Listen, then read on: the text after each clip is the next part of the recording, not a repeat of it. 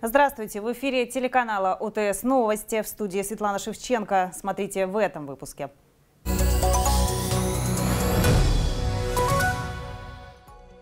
Институты Академгородка приглашают на экскурсии перед Днем российской науки, где можно увидеть суперкомпьютер для модели сердца и стенд проверки авиадвигателей. Вслед за потеплением рыбалка на акватории Аби становится небезопасной. В каких местах запрещено выходить на лед? На страницах биография новосибирцев, которые внесли вклад в развитие региона. В области реализуют проект «Знай наших», с кем знакомят школьников.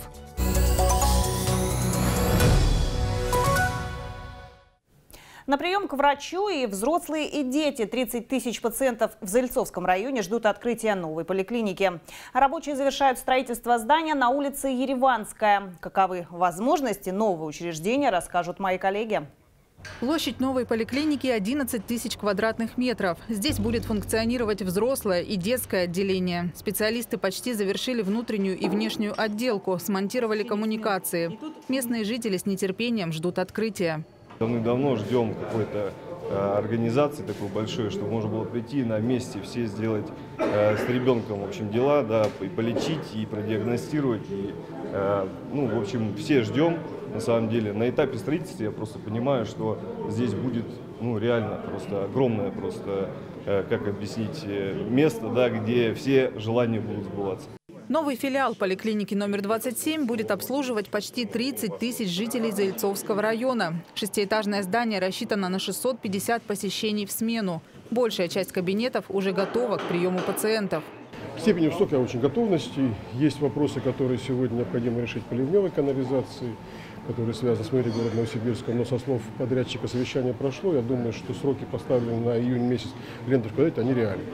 В ближайшее время власти обещают решить проблему транспортной доступности.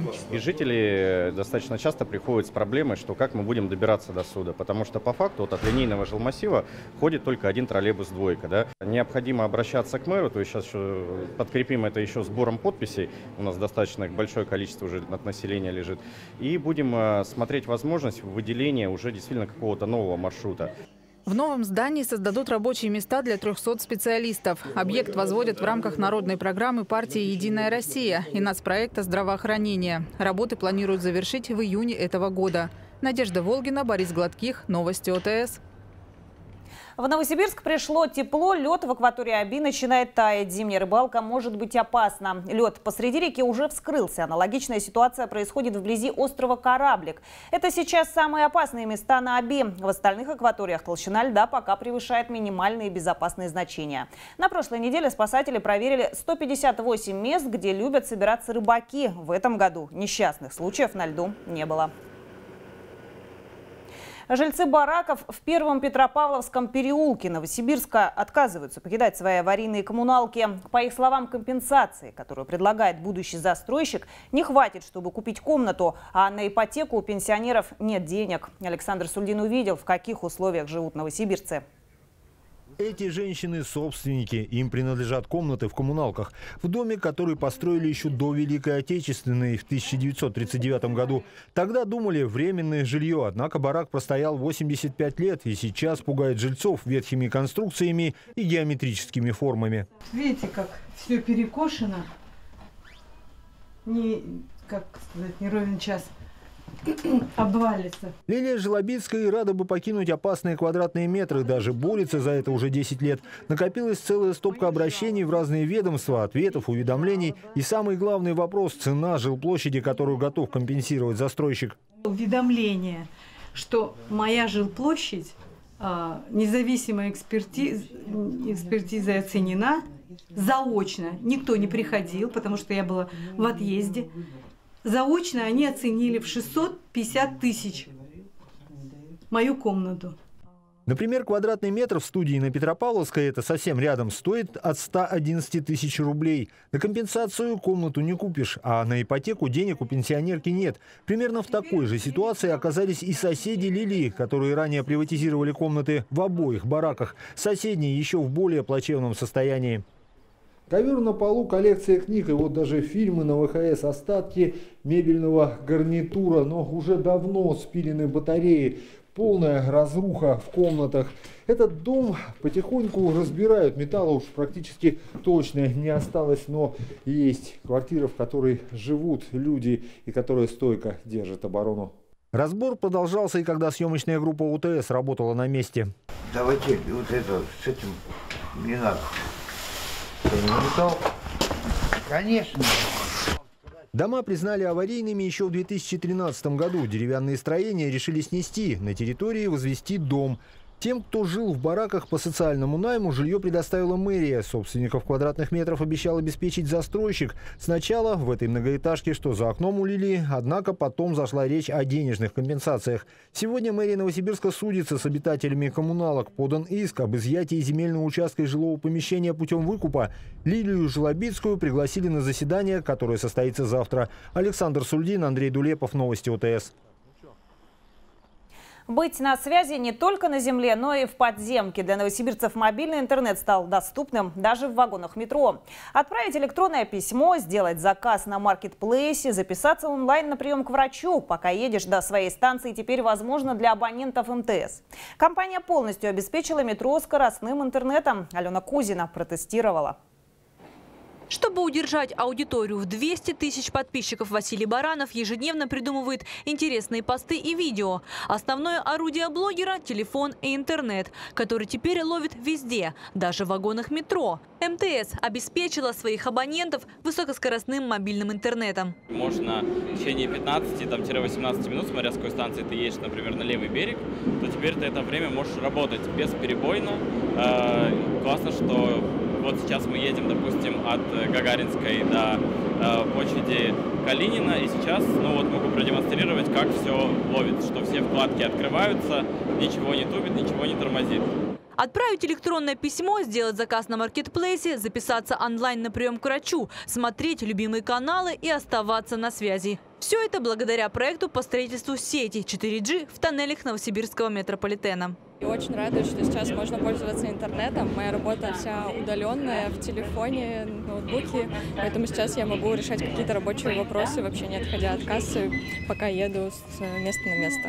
Еще прошлым летом мобильный интернет МТС был доступен для пассажиров Дзержинской линии. В начале этого года сеть появилась и на Ленинской. Консистентное покрытие – это когда у вас в процессе перемещения всегда есть э, доступ к мобильному интернету. Независимо от того, на дачу вы приехали за город, или вы в метро находитесь, или в аэропорту или вы смотрите хоккейный матч любимой команды Сибирь. 30 километров излучающего кабеля, а это в два раза больше, чем протяженность двух веток метро. Почти как от Новосибирска до Бердска. Чтобы не останавливать работу метрополитена, специалисты МТС трудились по ночам. Ведь движение поездов должно быть бесперебойным, как и мобильная связь. Мы здесь имеем очень большую долю и э, скажем так, у нас, наверное, ну не наверное, а точно мы лидеры по количеству абонентов. Нам крайне важно обеспечить высокоскоростной именно доступ в интернет, чтобы наши горожане, новосибирцы смогли спокойно пользоваться. Алена Кузина, Антон Мамаев, Новости ОТС.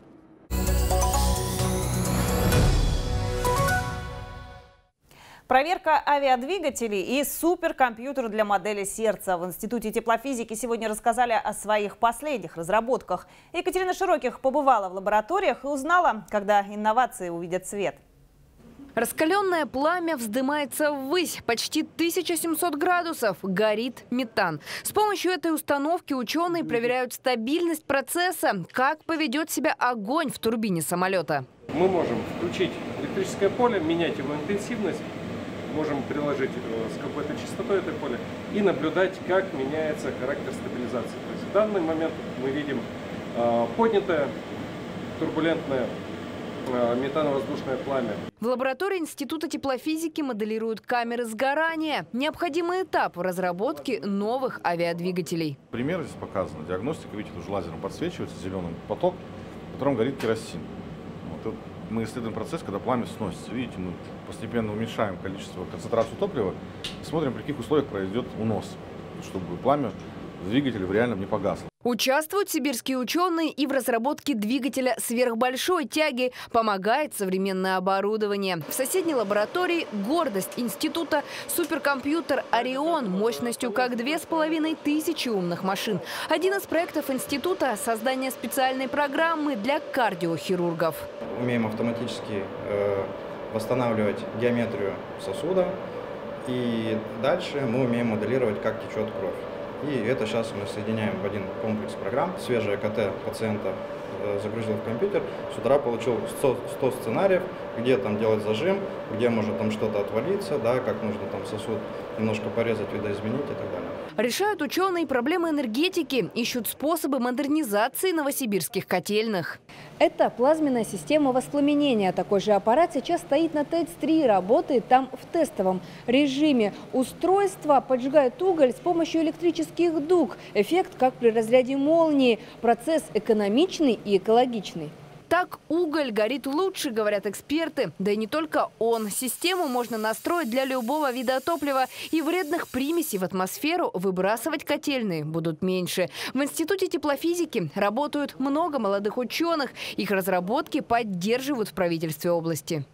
Три субсидии по 6 миллионов рублей э, за последние там, два года получили лаборатории, получили ученые, ну не ученые, а бизнес бизнес получает компенсацию своих затрат. 6 миллионов за два года даем мы, 6 миллионов привлекает бизнес.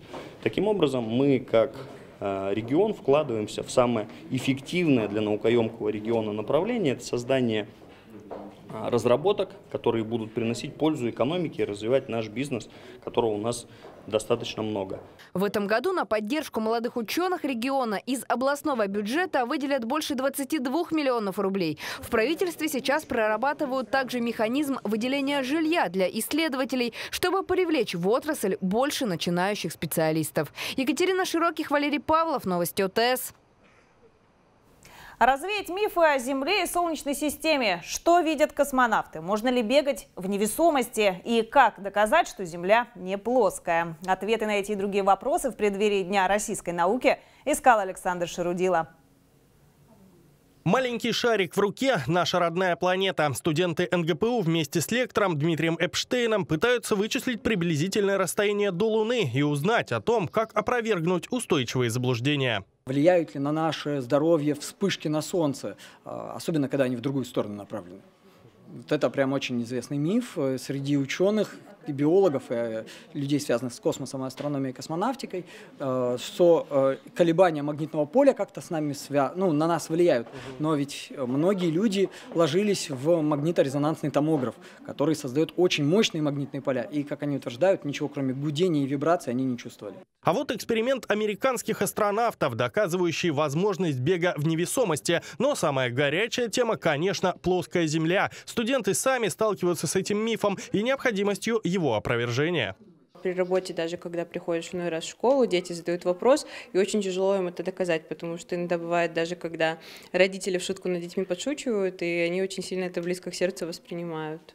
Опровергнуть миф о плоской Земле нам может помочь, например, лунное затмение. Возьмем книгу «Это Земля, я в данный момент Луна». Солнечный свет проходит, отбрасывает на меня тень, и мы ее прекрасно видим, потому что если бы Земля была плоской, то тень была бы вот такая.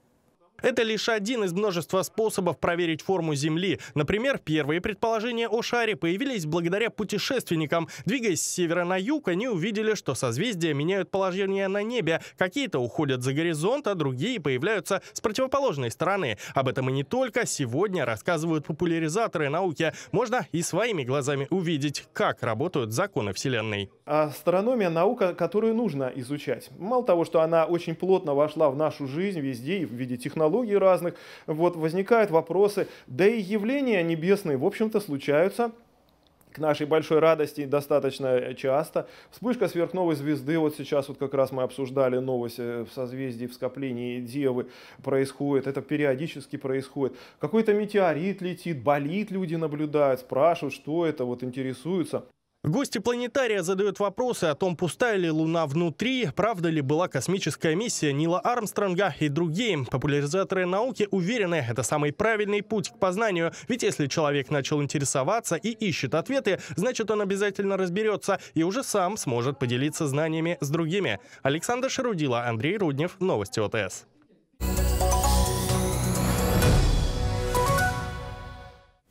Новосибирским школьникам в рамках проекта «Знай наших» вручили тетради с биографиями известных новосибирцев. Проект приурочен к 65-летию Советского района и 130-летию города Новосибирска. Цель – познакомить горожан с выдающимися жителями области. Какие фамилии на страницах изданий, расскажет Юлия Алиханова. Евгений Мишалкин, Дмитрий Беляев, Валентин Коптюк. Партийный проект «Знай наших» включает в себя 80 героев, которые внесли огромный вклад в становление Новосибирского академгородка. Их именами названы клиники, улицы и переулки, учебные заведения и культурные памятники. В рамках народного проекта для старшеклассников подготовили тетради с биографиями выдающихся людей Новосибирской области, чтобы у школьников были примеры, на которые нужно ориентироваться. Я хотел бы огромное спасибо сказать всем, кто принимал к этому участие. Это, конечно, Наталья Ивановна Пинус, это Елизавета Лидер, ну и весь Академгородок, потому что он сплотился, и родственники, и а, общественные организации. Мы все а, работали для того, чтобы осветить память этих 80 великих людей. А, это и академики, это и деятели культуры и спорта, это и наши великие врачи. Проект «Знай наших» запустила партия «Справедливая Россия» в прошлом году. Жители Советского района несколько месяцев собирали информацию о героях, а уже летом на Бердском шоссе появились первые баннеры, благодаря которым новосибирцы увидели портреты известных деятелей Академгородка. Ну а выставка в Доме ученых позволила познакомиться с их биографиями. Этой весной авторы проекта планируют провести среди школьников конкурс эссе, который позволит погрузиться в жизнь выдающихся людей и подчеркнуть что-то что-то для себя. Юлия Алиханова, Новости ОТС. В школе учат быть здоровыми. Чтобы добыть здоровье, надо преодолеть морской путь с шестью остановками. Острова супергероев, тайн внутреннего мира. Непростой квест прошли команды 168-й школы Новосибирска. В чем секрет хорошего самочувствия, узнала Наталья Цопина.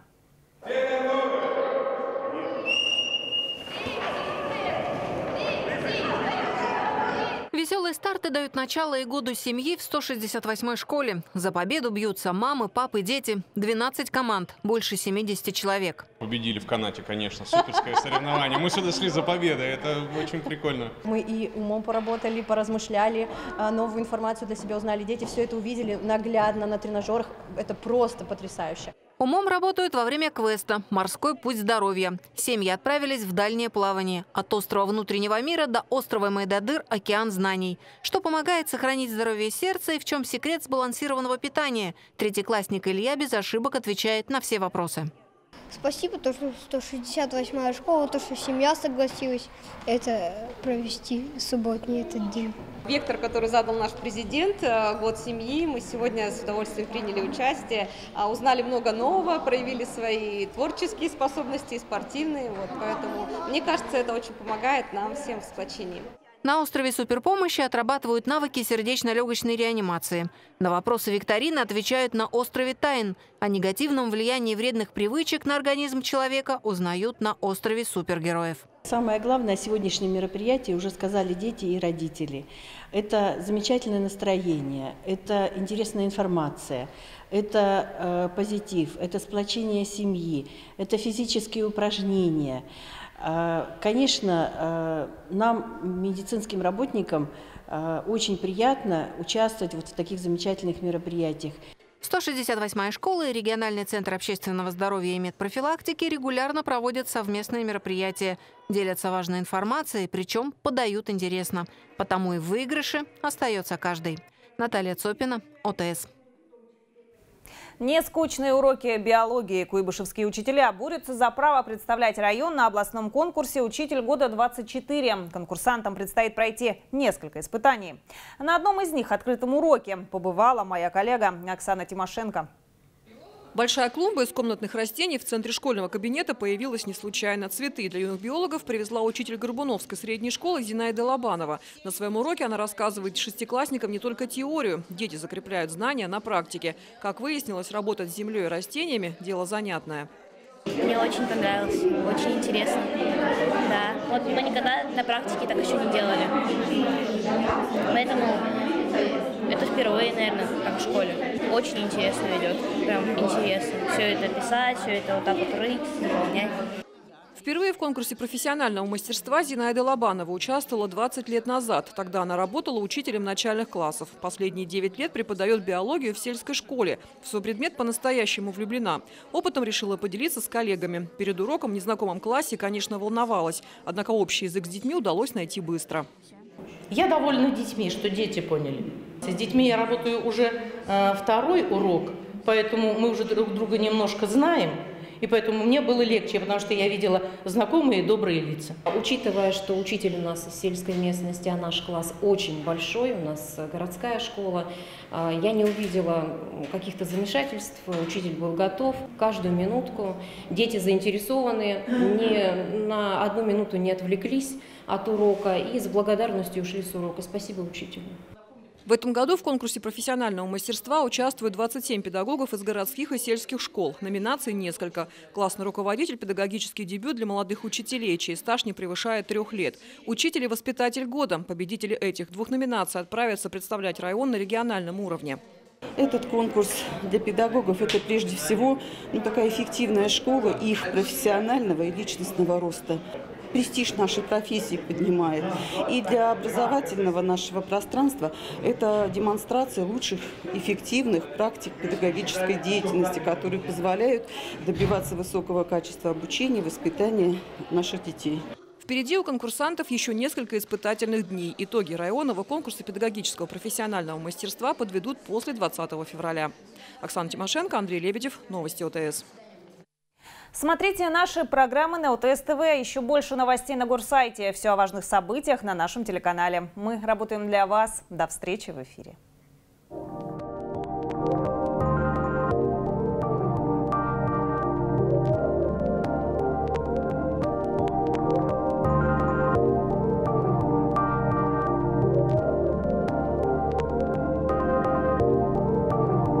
Здравствуйте. Прогноз на 7 февраля. По данным сервиса Яндекс Погода, в Новосибирске будет облачно с прояснениями.